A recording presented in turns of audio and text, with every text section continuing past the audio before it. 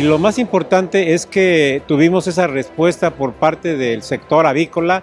Y poder estar cara a cara con nuestros clientes, con gente de la industria, era algo que se necesitaba también para poder seguir eh, cerca y que nos sientan muy cerca, ¿no? De los técnicos, de, lo, de las empresas. Pues estamos muy contentos de poder volvernos a reincorporar este tipo de actividades y volver a, a tener esa, ese vínculo con nuestro cliente directo, ¿no?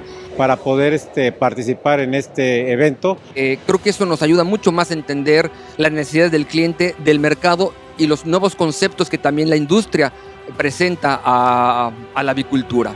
El Congreso Anual de la NECA de este año marcó el regreso a los eventos presenciales dentro del sector avícola.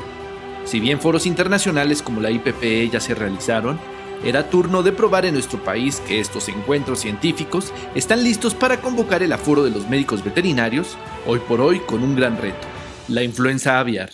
Lo que requerimos es el concurso de todos los avicultores, de los médicos veterinarios, en que tengamos la misma idea y consideramos cuáles son los factores de riesgo que debemos de cuidar para evitar que la enfermedad se siga difundiendo y causando serios problemas.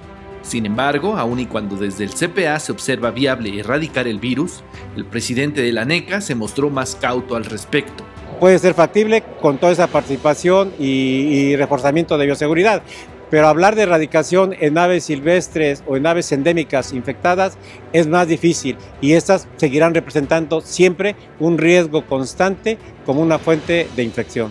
Con un foro que convocó un precongreso, seis seminarios técnicos, 24 trabajos libres, seis pósters, 20 conferencias magistrales, poco más de 400 asistentes y 22 empresas patrocinadoras, pues creo que está renueva, nuevamente abriendo esa, esa posibilidad de estos eventos presenciales que son necesarios eh, en, en, en, nuestro sector y en los demás sectores técnicos y científicos. Eh, definitivamente el poder estar aquí, podernos ver las caras, poder saludar, poder ver a los ojos a la gente, es una experiencia totalmente diferente. Para poder llegar a todos los productores y a los técnicos en todos los, los niveles, ¿no? Yo creo que eh, psicológicamente nos va a ayudar mucho estar nuevamente en contacto físicamente, estarnos viendo, aunque sea con cubrebocas. Este 46 Congreso de la Asociación marcó también la celebración por los 50 años de la ANECA, en donde se reconoció con el guajolote dorado a los expresidentes que han formado parte de este organismo.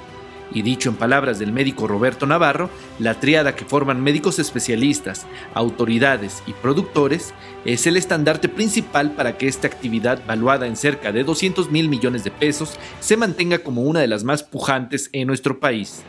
Pues es lo más importante, o sea, sin, sin esta triada que tú bien acabas de, mencionar, no se puede encerrar el círculo de control y erradicación de la, de la enfermedad.